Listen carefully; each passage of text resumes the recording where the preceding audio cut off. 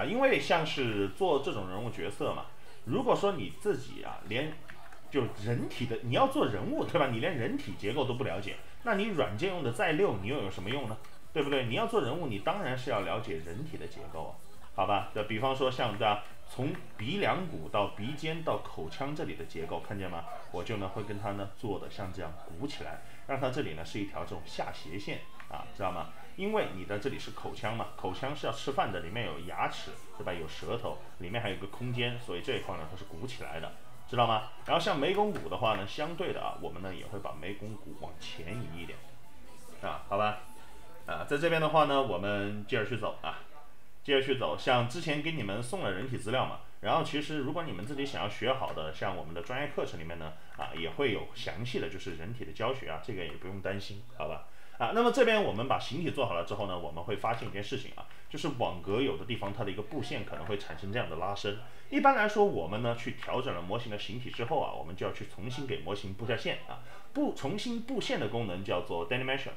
这个 d a n i m a t i o n 呢，就是 ZBrush 这个软件它封神的原因之一啊。它呢，不管你的模型现在的造型是什么样，你只需要重新激活 d a n i m a t i o n 它呢就可以给你的网格进行重新的布线啊。大家再看啊，现在的网格是这样，点击 Animation 之后，看见没有？它就重新的给你的模型进行一个布线了啊。比方说像有些地方我们网格已经拉伸到了很离谱的一个程度，对吧？同样，我们重新激活 d a n i m a t i o n 它不会改变你模型的外形，而是直接在你这个外形上重新进行布线。这样我们就能够在这样的一个基础上呢，重新去进行雕刻，懂了吧？比方说像我们去做一些犄角这样一类的东西的时候，啊，我们就会使用到这样的功能啊。d a n i m a t i o n 呢是我们调形的时候经常会去使用到的一个啊基本的工具，好吧？那么在这里呢，我们调出了它的一个侧面结构啊，我们还要回到正面结构来啊，去把它的这边的基本形体给塑造好，对吧？比方说它的一个眉弓，对吧？眉弓的位置呢，我们会用基本的粘土雕刻笔刷呢，稍微的跟它去带一下结构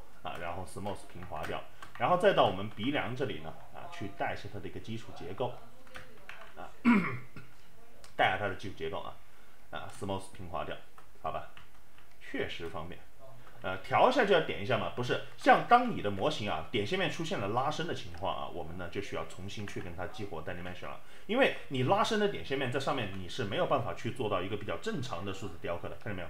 我们雕刻的话，所有的起点都是得在这种偏向于正方形的模型上，我们雕刻出来的东西它才是比较正常的。如果你在这种拉伸的网格上进行雕刻，它雕出来的东西是这样的，知道吧？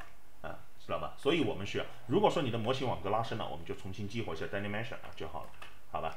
啊，那么再回到这边来啊，你看我呢稍微去调整一下它的脸型啊，脸型呢下巴这里宽了，对吧？啊，那么我们拿木工具呢往里推啊，往里推，然后整个下颌骨呢宽了啊，我们同样的往里推一点，好吧？啊，就轻轻的往里推，像有没有有没有一点像我们那小时候捏橡皮泥捏泥人一样的感觉，是吧？有吧？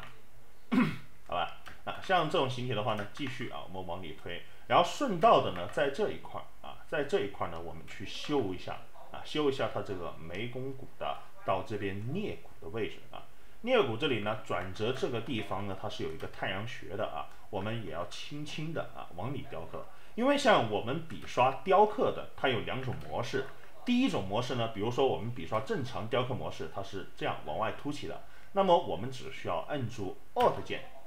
摁住 Alt 键呢，我们就可以进行这样的反向雕刻，它就可以往里凹了，知道吧？啊，那么比如说现在我们做这个太阳穴的话呢，太阳穴这个部分，对吧？人头这里的结构呢，它是凹进去的啊，相对的呢，我们就要轻轻的给它往里凹陷，好吧？啊，进行 Smooth 的平滑啊，摁住 Shift 键啊，可以进行 Smooth 的平滑，好吧？啊，把眉头这里呢，稍微的啊，再跟它呢啊，稍微的放松一点啊，OK，稍微的放松一点啊，把眉头这里，你看。我用这样的弧度啊，去表现它一个眉头舒展开来的感觉，好吧？啊，OK，对，所有的笔刷都有正向，对吧？比如说我们反就我们正常雕刻它是往里凹的，我们按住 Alt 键它就可以往外凸起来，这样所有的笔刷呢按 Alt 键都是反向雕刻啊，你懂这个意思就行，好吧？啊，继续啊，像现在呢，我们把这个形体塑造成这样之后，我们要去改它的下巴了啊，因为像这种二次元卡通的角色，它的下巴真的是非常尖的啊，然后呢，我们稍微的去收一下。稍微的，你看，把这个小尖下巴呢给它收出来，啊，收出来之后，啊，收出来之后呢，把小尖下巴我们往前推一点点，好吧，啊，往前推一点点，啊，再来呢，把它的这边下颌骨的骨点啊，我们表现清晰一些。啊，老师，你现在用的是手绘板还是鼠标啊？如果你要做这样的数字雕刻，那么你用的就一定是手绘板啊，鼠标是雕不了这么好的效果的啊。你记住啊，因为鼠标它是没有一个叫做压力感应的东西。什么叫压力感应呢？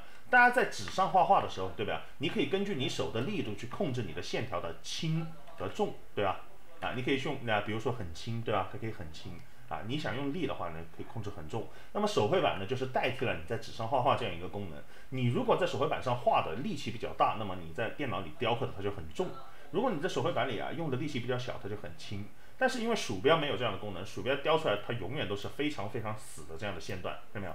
这个是鼠标做出来的东西，它不会有轻重的变化。你看啊，我拿手绘板对吧？啊，我现在很轻对吧？然后呢，我慢慢加重力气，看见没有？啊，然后再慢慢的哎变轻，看见吗？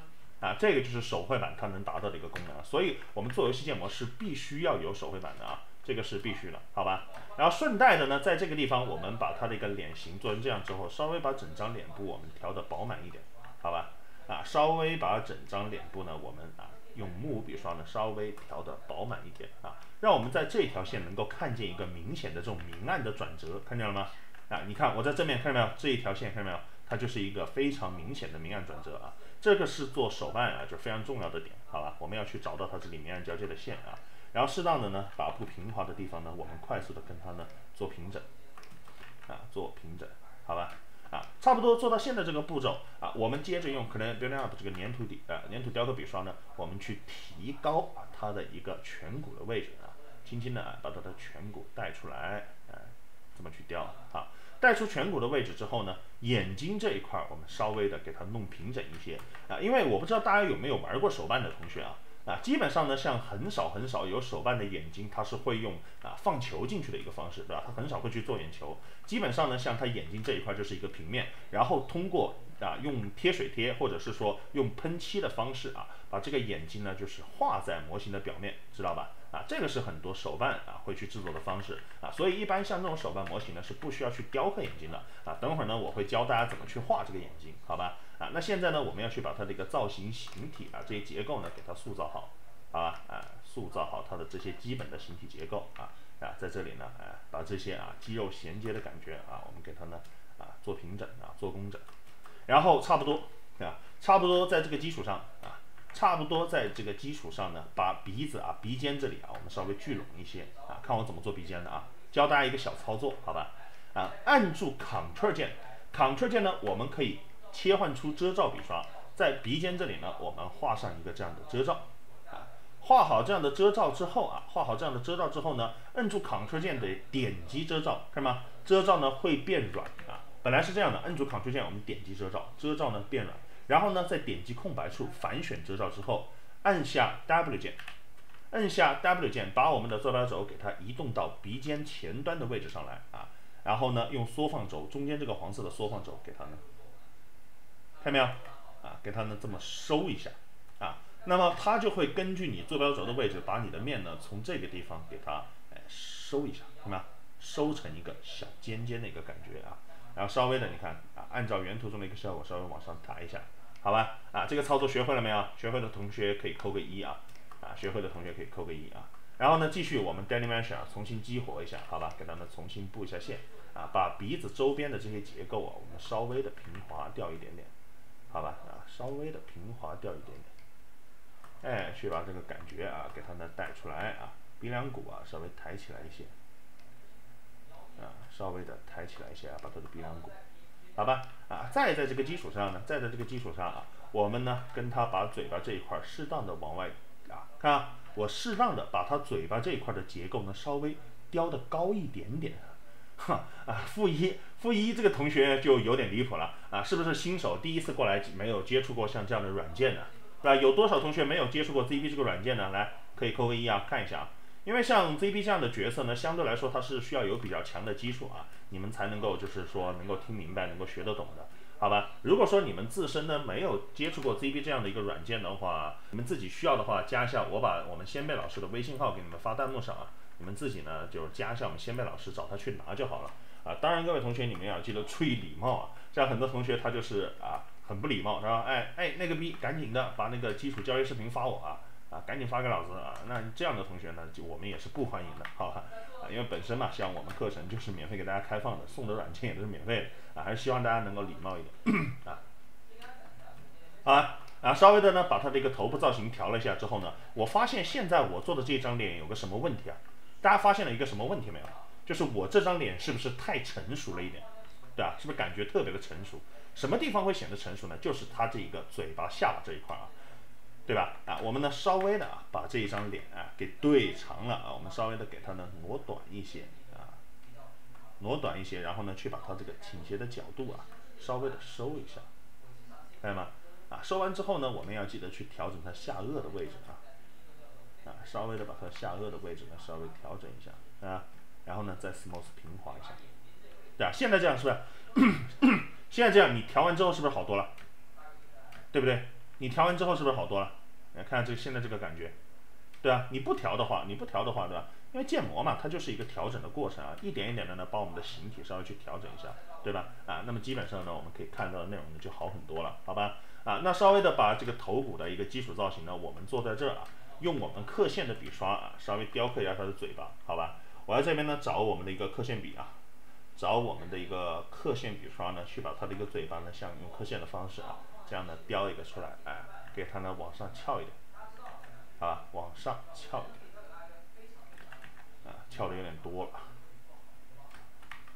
啊，稍微的往上翘一点之后呢，然后往下再拐一下啊，往下再拐一下，去做一个它的基本的嘴角。啊，根据像动漫的，像动漫的，它不会有那么明显的唇峰啊，或者下嘴唇的结构，不会有这么明显的这种结构的。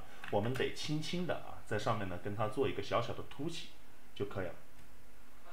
像我这样啊，轻轻的做一个小小的凸起啊就可以了，好吧？啊，去表现一下它的一个嘴唇基本的结构嘛。然后呢，稍微往外再挪一点点，啊，啊，稍微的往外再挪一点点，对，然后把这一块儿啊。挪一下啊，轻轻的去做一些基本的修改，好吧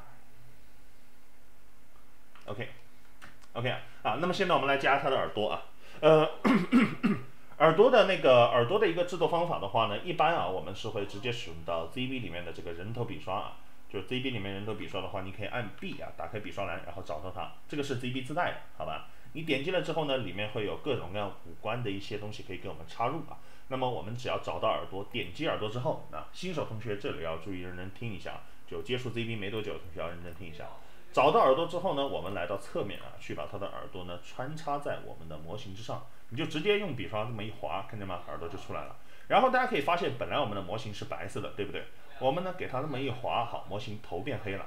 啊，为什么呢？因为你把这个耳朵插入在我们这个人头之上，我们的人头呢就被遮罩遮住了。那现在我们就可以单独的去调整我们的耳朵，知道吧？那我们可以利用我们的 W 键上面的坐标轴，你可以旋转它的角度啊，调整它的位置，对吧？把耳朵呢，我们给它穿插在这个模型里面啊，好吧？啊，穿插在我们模型里面，然后呢给它贴合上去。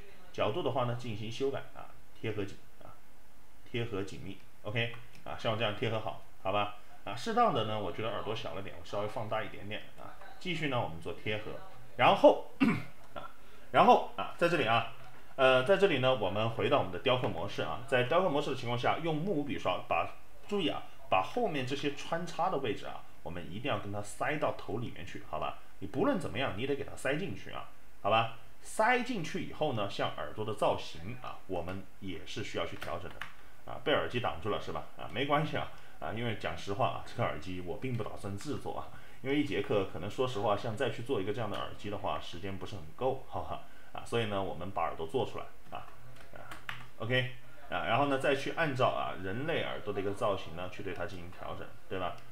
稍微的把它的耳朵呢轮廓啊调强烈一点，好吧？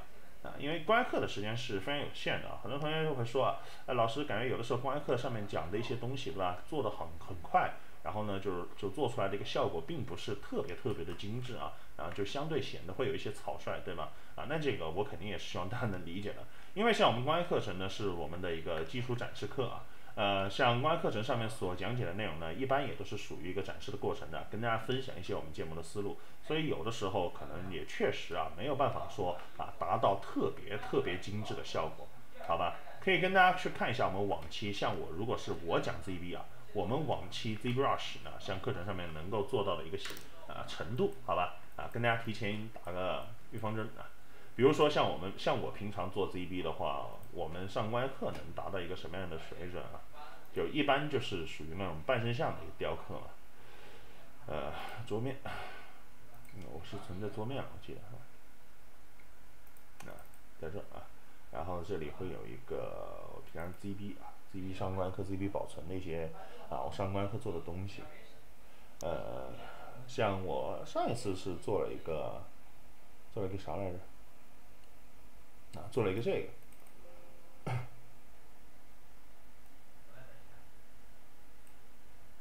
啊，等一下啊，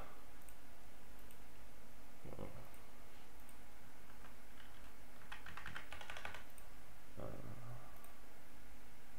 上一次我是做了一个这个啊，上一次我是做了一个英雄联盟里面的那个阿卡丽啊，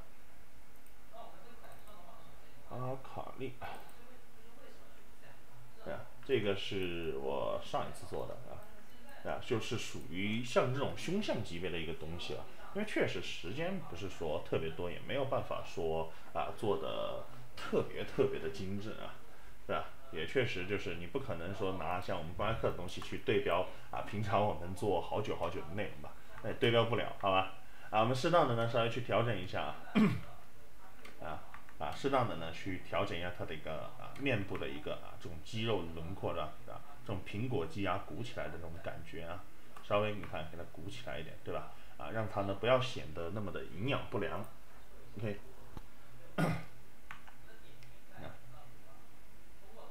不要那么显得那么的营养不良，好吧？啊，然后再在这个基础上呢，啊，我们适当的把它的眉毛啊这个眼睛这里呢稍微把这一段啊我们往上抬一点。把这一段呢，我们往下拉一点，因为其实它这个眼睛它是真的比较大的，那么我们就要在眼睛这一块的位置呢去做一个位移啊，给它眼睛腾出一个，到时候我们可以去绘画的一个位置，绘画的一个地方，好吧？啊，这一块你看啊，挪起来，OK，作品啊，啊，现在基本上呢，像我们这个人物角色啊，现在我们这个人物角色的一个头部啊，头部的一个大的形体呢，基本上形体就已经有了。然后我们现在如果说要去跟它加细节，或者说啊想要跟它把这个嘴巴附近啊，或者说鼻子附近这些块面做的比较平滑的话，呃，那么在这里呢，我们一般情况下来说啊，就会呢给模型增加面数了，好吧？加面的方法呢，我们是使用 Dynamation，把分辨率呢从一百二十八的分辨率调整到，比如说我调整到三百多，对吧？然后呢重新去激活 Dynamation，啊，很明显的我们可以看见啊，现在头部上面的点线面数量就已经成几何倍数的进行增加了啊。那么在这个基础上，我们再去雕刻，比如说嘴巴不平整的地方，对吧？我们现在嘴巴这里不平整的地方呢，我们就可以啊跟它呢做的更加的平滑了，看到没有？啊，我们就可以跟它做的更加的平滑。然后像嘴部的一个刻线呢，我们可以刻的更加的深刻一点啊，然后再把嘴角呢稍微的跟它带出来一下啊。OK，啊，像这么去带，好吧？啊，像这么去带啊，带出来一点。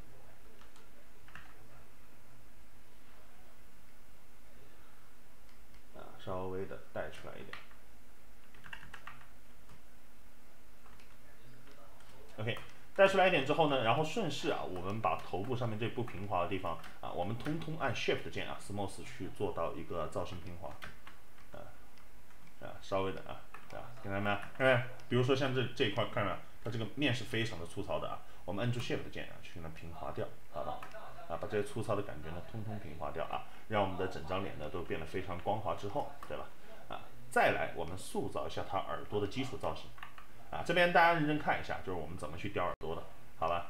呃，耳朵在这边我们雕刻的话呢，首先啊，我们得加强它的刻线啊，比方说在这里我们找到刻线的笔刷，对吧？你可以用这个，也可以用其他的刻线笔刷啊，我们呢跟它啊加强它耳朵的刻线啊，把它这个耳轮的轮廓啊。耳轮的轮廓呢，跟它啊深入的进行一个数字雕刻啊啊耳轮的轮廓像我这样啊深入的进行一个数字雕刻，好，然后呢到这边啊慢慢慢慢的变轻啊，它到这边来是慢慢慢慢变轻的，你看我啊这里你看我会雕的很重啊啊到这边也是一样啊，我会雕的很重很重啊，我会下下笔下的很很有力，然后呢再到这边呢我轻轻的对吧，我的笔呢就越来越轻越来越轻啊，直到到这个地方结束，好吧。啊，啊，这边呢是表现清晰它的一个耳轮啊，把耳轮呢稍微做清晰了一些之后啊，我们要去抓它耳朵的形体，比如说它的这个啊 Y 字形体啊，比如说它这里有一个小 Y 字形，这样的一个小 Y 字形体的话呢，在这边我可以轻松的干嘛？用我们的笔刷呢去跟它雕刻出来啊，轻松的用我们的笔刷雕刻出来，好吧？然后再到这边呢，我们去跟它啊往深入。把这个小 Y 呢深入进行一个雕刻啊，这个地方就是它耳朵里面的软骨结构了。啊，雕刻出来之后呢，啊，重新 Dynamation 激活啊，我们去平滑一下，啊，去平滑一下它这边的一个啊耳轮的结构，好吧？，OK 啊，这边然后这里的软骨也是一样的啊，把这个耳洞啊，我们呢往里雕，耳洞往里雕了之后呢，一样的啊，我们把这边的一个耳朵软骨啊，给它们带出来。好吧，啊，跟他们做墙，啊，OK 啊，然后再来拽一下啊，然后这个时候啊，用木工具来拽一下它的一个小耳朵啊，把小耳朵呢给它从这个地方呢拽出来，对吧？啊，人是有小耳朵的嘛，那么我们轻轻的给它拽出来，看到吗？啊，去塑造它一个相对比较立体的这样的耳朵造型啊。再在这个地方呢，我们轻轻的用刻线的笔刷啊，找到我们的鼻底啊，这个地方呢，轻轻的我们用刻线笔刷呢，哎，这么给它刻两下啊。把它的一个鼻孔的位置呢，适当的进行一个表现，稍微的刻一下啊，表现一下它的鼻孔，啊就可以了，啊，整体的造型的话，我们把鼻尖啊稍微再抬起来一点，啊，这里这个弧度对吧，一定要做漂亮，像这种二次元这种卡通人物角色这种手办啊，这个鼻子这个鼻梁骨的这个弧度啊，稍微给它做漂亮一点的，可以抬尖一点点都没关系，好吧？OK，耳朵好大，那是因为没有做头发呀。啊，那是因为没有做头发，做了头发之后就会好多了啊。当然，你也可以把耳朵呢稍微做小一点啊，因为像可能很多同学啊，他没有了解过人物角色的形体，他可能并不知道耳朵的一个造型大概是什么样子的。大家如果说你是新手刚接触的话，你们可以摸一下自己的耳朵啊。首先，人的耳朵的起点它是在你的这个下颌骨上面的啊，你摸，现在你摸这个起点是不是在你的下颌骨上？是不是？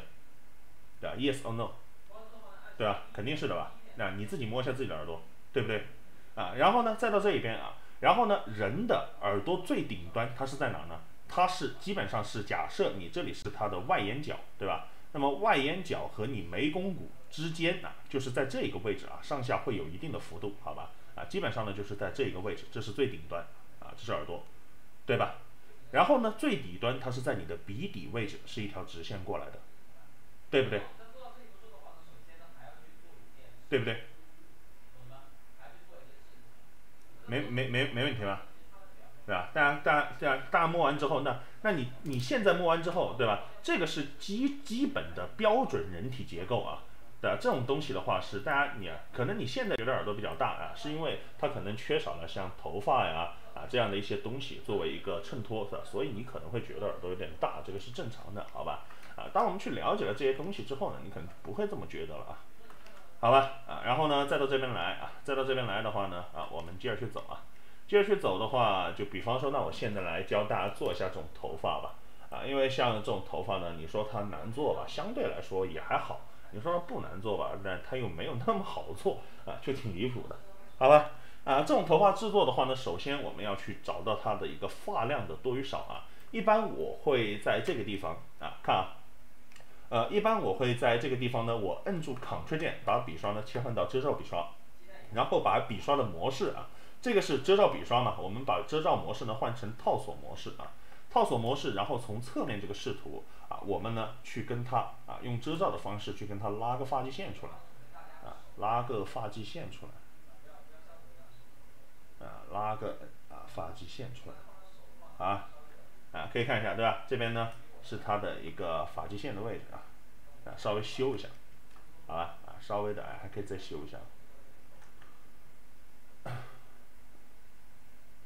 OK，啊，这边是它的一个发际线的一个位置啊。OK，啊，然后再到这里的话，再给它补一下，啊，把这一种啊地方给它补好，好吧。啊，那么上面你的发际线的位置呢，通通的啊都被我用遮罩呢给它遮住了。然后我们摁住 Ctrl 键加 Alt 键两个键同时摁住去点击遮罩啊，去快速的硬化我们的遮罩之后呢，呃，我们利用提取功能，好吧？提取功能的话，我们直接在模型的表面点击提取啊。它呢会根据我们遮罩所在的位置啊，给我们呢去生成一个，看见了吗？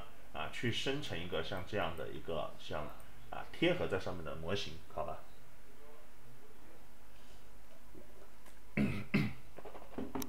看见没有？啊，它贴合一个这样的模型，但是我觉得这个厚度好像不够厚啊。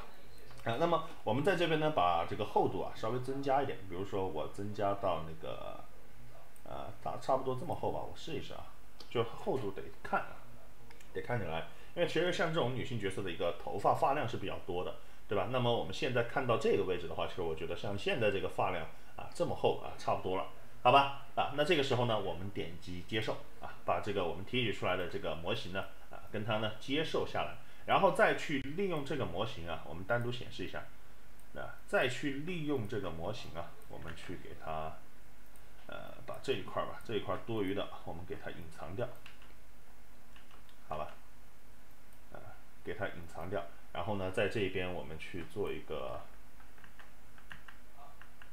呃，在这边我们去做一个这个结构吧，啊。差不多，差不多啊，把这些面我们隐藏掉，然后呢，啊，点击自动分组，然后把这里啊这个组也给它隐藏掉，啊，这里啊多余的形体我们全部都隐藏掉，然后呢，在这里啊我们点击删除隐藏，啊，把隐藏掉的地方全部删除了之后，那这一块是空的，我们点击封闭孔洞啊，给它补上这个洞，好吧，再在这个基础上 dimension 一下，啊，再在这个基础上呢，我们 dimension 啊，重新跟它分布一下面数。让这样一个东西呢，像头盔一样盖在我们的脑袋上，严格遵守交通规则是吧？啊，这里得去做的，得去雕的，好吧？你不雕的话，怎么出来造型呢？啊，然后呢，我们把这边发际线这边做好衔接啊，啊给它呢雕好了，往里面呢雕刻好一点啊。啊，这一块的话也是一样啊，往里呢雕刻好一点啊。哎，看到吗？啊，把这个衔接处的一个坡面的一个感觉啊，给它带出来。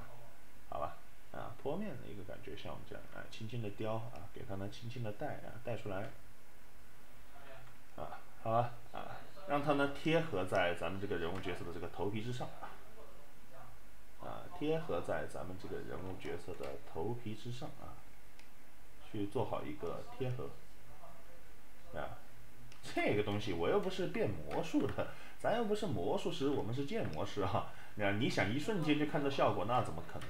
对吧？你模型的所有结构都是需要你一点一点像这样去做出来、调出来的，对吧？啊，像可能现在很多同学，对吧？就像平常快节奏的生活过习惯了，对吧？什么都是快节奏，对吧？平常看抖音，对吧？啊，玩 B 站都是看那种短视频的，歘一下就过去了。呃，你可能在 B 站上面你看到的某某某的加速视频，对吧？那很可能人家是做了好几个小时，甚至好几天、好几个星期，甚至好几个月啊，他才做出来的东西，啊。你知道吧？所以就是你可能的，你几分钟就看完了啊。那这个东西，你想要去好好做好一件事情的话，它可没那么简单啊，对吧？哎，然后呢，啊，我们把这一边啊贴合头皮这一块的这个模型呢，我们稍微跟它进行一定的平滑，啊，把这个贴合头发的这一块呢进行一定的平滑，然后啊往里呢贴合，啊往里贴合好。啊呀，看过经常看我们视频的同学应该都知道啊，像我们 B 站发的视频，绝大多数都是完整的，就是视频嘛，就是完整的一个模型的视频嘛，对吧？不说完整的流程，至少模型的视频啊，基本上都是完整的，对吧？啊，那么像这样的每我们每个视频平均都是两个多小时、三个小时，啊，都是我们公开课上面所讲的东西嘛，啊，啊，所以这一块的话呢，这里能理解理解吧？好吧，啊，适当的啊，我现在啊这个样子啊，对吧？把它的一个头发的发量啊，就基础的发量，我们先不管刘海，好吧？我们先不要去管刘海什么样啊，先像我这样呢，把基础的头发发量我们雕刻出来之后呢，然后啊，按照我们的这个 Clean building Up 这个笔刷啊，用这样一缕一缕的方式啊，像这样一缕一缕的方式啊，给它呢啊，把它的双马尾的位置给它找到啊，比如说它双马尾的起点在这儿，对吗？啊，那么呢，我们就在这里，对吧？跟它呢，先去刻一道中线，啊，刻一道中线，好吧？啊，稍微刻一条中线，然后呢，以这个中线为基准啊，我们呢，一缕一缕的啊，这么去雕，啊，把它双马尾这一块的这个啊马尾辫呢，我们这样子啊，往这边聚合，啊，往这边聚合，啊，继续聚合，啊，继续聚合啊，去把这边的一个啊这种啊一缕缕的感觉，我们稍微的啊雕刻的深入一些。啊，然后呢，再把这里啊看啊，因为头发它是往两个双马尾起起起始的点的汇聚的，所以呢，像这种马尾辫啊，它汇聚过来的这个感觉呢，我们这一块啊，稍微要跟它做大一点点啊，因为它头发在这里比较多嘛，对不对？看着看着，这就就流下了不争气的泪水啊！我觉得现在还不至于啊，同学还不至于啊，我现在还只是在做基础的造型，好吧？啊啊，现在还只是在做基础的形体而已啊，还不至于啊。啊，没必要，就是说这么早流啊，流下的不争气的啊泪水哈，啊，特别是嘴角，好吧，你稍微让你的嘴角哈冷静一下，啊，稍微让你的嘴角冷静一下啊，啊，然后稍微明显一点的，明确一点，看到吗？啊，稍微把这边的这种线段之间这种间隔啊，稍微做的明确一点，啊，好吧，怎么样？啊，其实这也不是什么啊要技术的操纵啊，这现在我们这种就是去跟它的明确像这样的线段，然后呢去做一些基本的平整啊、平滑调整，啊，让它这种头发呢有这种啊往后收的感觉，好吧？啊，让它有这种基础往后收的感觉，啊，但整体的一个位置的话，我们还是得去调好，对吧？比方说它这个头发从正面看的话，它的一个对吧？这里一个鼓囊的一个程度，对吧？我觉得有点不够鼓，然后前面这里呢有点太鼓了。啊，这边我会去基本的对它的造型进行一些微调啊，然后呢，我们先不管它的马尾啊究竟如何，好吧，我们来做一下刘海。呃，像这种刘海的一个制作过程的话啊，呃，这里啊跟大家分析一下这种刘海的一个制作过程，它主要是以这样的一个条状的物件啊，一片一片搭建出来的，对不对？啊，它是以这种条状物件一片一片搭建出来的。那么我们要怎么去搭这样的条状物件呢？呃，一般 一般在这里啊。一般在这里呢，我会去使用到像是这样的，呃，会去使用到一个这样的笔刷吧，叫 SK Hair 笔刷啊，啊，同样也是 SK 这里面的一套，好吧，我们去找到 SK Hair 这个笔刷啊，点击 SK Hair 这个笔刷，点一下啊，然后呢，在这里我们呢找到这个 SK Hair，啊，它呢会根据你这个现在笔刷的这个大小啊，然后呢去生成这样的模型，看见了没有？比如说，哎，看见吗？啊，我们要去做一条这样的一个感觉，我们就可以用 SK 啊去做。啊，像这个呢，用于做眉毛啊或者头发都是非常非常方便的，好吧？啊，那么呢，我们在这边利用 SK Hair 这个笔刷呢，啊，我们可以轻轻划一条比较细一点的出来啊，大家可以看一下啊，划一条比较细一点出来，是吧？然后我们 划出来的这个啊，划出来的这一条呢，哎，大家有没有发现一个点啊？就是它划出来的时候又粗又长，对吗？啊，它这个好像还有那么一点恶心的感觉啊，对不对？有没有？啊，就它是很粗的、很圆的，它并不像，对它，它并不，它并没有这种头发的感觉，对吧？啊，那这个东西怎么办呢？啊，大家看好了，我们要去设置的，好吧？啊，好好学啊，这里啊，啊，我们要去设置的啊，怎么设置呢？啊，首先我们找到笔刷啊，笔刷呢，打开我们笔刷的修改器，在修改器里面呢，第一这里有个压力，压力这个东西呢，你大概调到三十左右啊。那么接下来你画出来的这一段线，它呢就会被你的提高的，因为我们把压力从零提高到三十左右，所以它压力高了，我们笔刷它就被压瘪了，知道吧？啊，它就被压瘪了，看见没有？它就不会像之前那么厚了，啊啊。那么是，然后在这一边的话呢，我们啊再在这个基础上啊，看清楚啊，我怎么操作的啊？我们呢找到笔触。笔触呢，找到曲线修改器，打开，在这里有个曲线衰减，点击曲线衰减，我们把这个曲线衰减里面的这个图片啊，给它们重置了，好吧？这个框里面的东西呢，就代表了你笔刷现在的一个，就是你这个头发现在的一个状态。这边是起点，这边是终点，我们可以看一下，看见吗？起点很细，终点很粗，看见吗？这个就是你现在的这个笔刷的一个状态啊。再看啊，笔触曲线修改器里面看见没有？那么我们现在要做的事情呢，是让我们的起点，对吧？啊，相对的啊，我们的起点呢啊，要相对的啊细一些，然后呢，终点相对的细一些，然后呢，把中间这一块相对的高一点点，知道吧？让它做到一个由粗变细再变粗的一个感觉吧，啊，由粗变细再变粗的一个感觉，好吧？啊，就是这样的一个缩状啊，然后我们再来画一遍，看见吗？那现在这个感觉呢，是不是就更像是头发的感觉了？对不对？啊，我们可以再调一下啊。对吧？比如说你要觉得还不行的话呢，我们可以再调一下，啊，我们可以再调整一下啊，它的这个感觉。啊，然后呢，哎，再来，看到没有？是不是它就会更加接近我们图片中那个效果了吧？啊，就是这么做的啊。那么我们呢啊，用这个 SK Hair 呢，先跟它来划一段它这个主刘海，好吧？啊，划一段这个主要的刘海部分啊，划一段出来。啊，划出来这个主要的刘海部分呢，我们点击其他地方，把它中间这根虚线随便点一下，把虚线先取消掉。然后，因为它现在呢跟你的头发是一体的，我们点击拆分隐藏啊，把那个头发呢从这个模型上拆下来，然后再去调整它的基本厚度啊。比方说现在这个刘海呢，我觉得它现在是小了点，对吧？我放大一些啊，然后呢，再在这个基础上呢，我去调整它的厚度啊啊，稍微呢给它呢用木笔刷，对吧？挪厚一些啊。挪后一些，好吧，啊，挪后一些的基础上呢，我再稍微的给它呢挪宽一些，啊，挪宽一些，Ctrl 加 D 啊，我们可以给模型给给它增加细分啊，可以跟它增加细分，好吧，Ctrl 加 D 啊，我们这么去加，然后呢再去调整，再去调整它的一个基础结构，啊，比如说它这个末端的一个这种弧度的感觉啊，稍微的给它哎转一转，啊。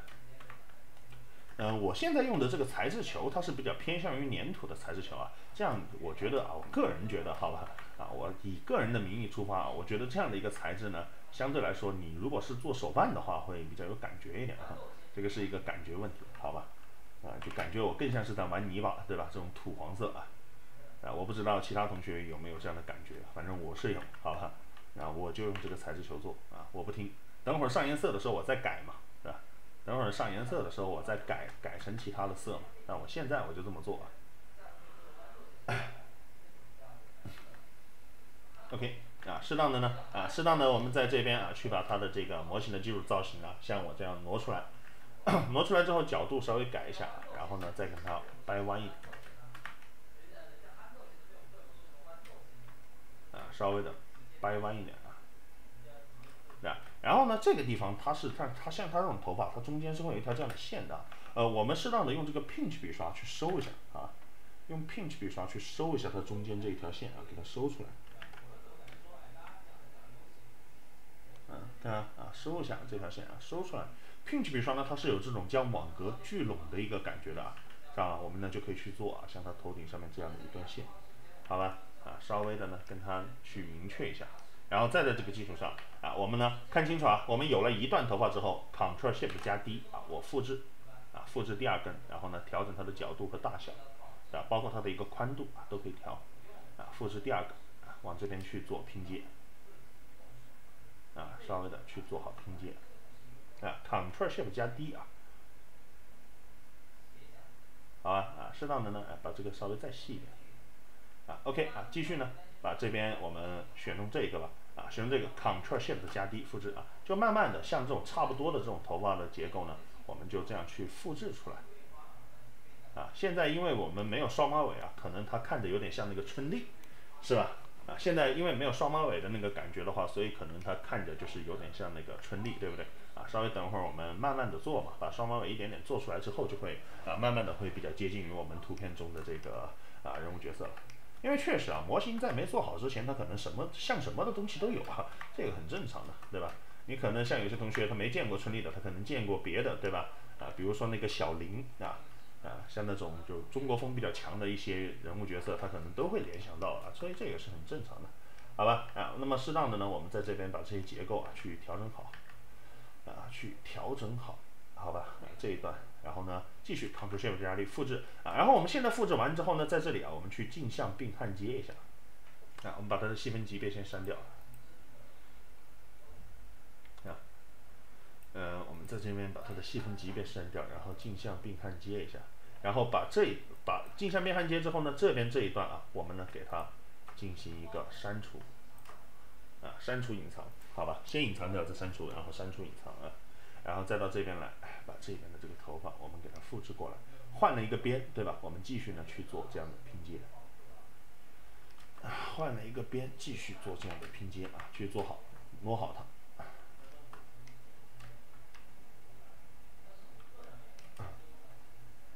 挪好它的一个造型。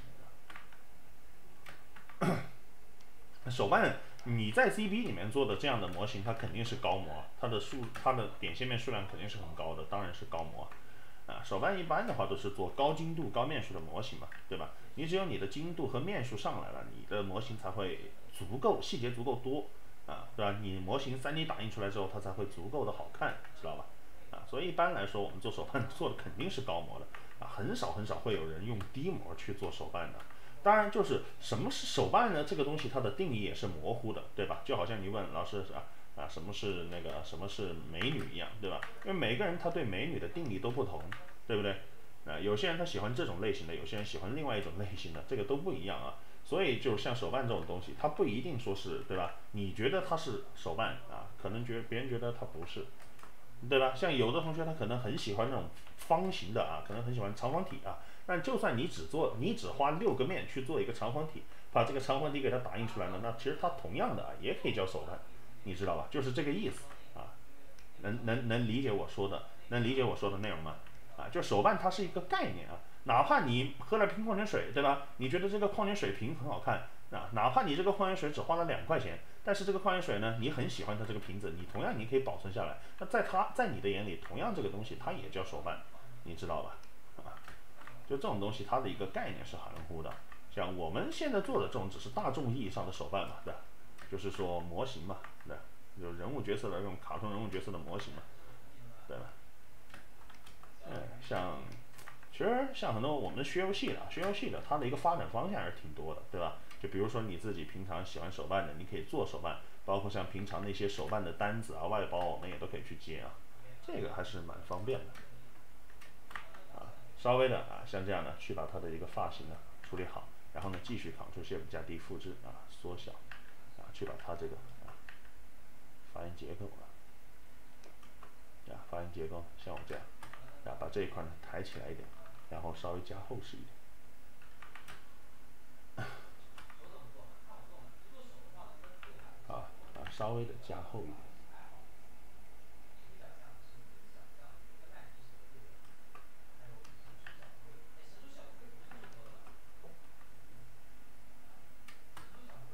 OK。啊，是不是啊？这边这个头发你稍微做了一下之后，这边感觉是不是就已经出来了，同学们？啊，就是这样慢慢做出来的模型啊，对吧？如果说你自己想要做好的模型，你又不愿意花时间，对吧？你又不愿意花心思啊，那基本上你其实 3D 建模这个行业你还是远离吧。哈，可以给你们瞄一眼哈。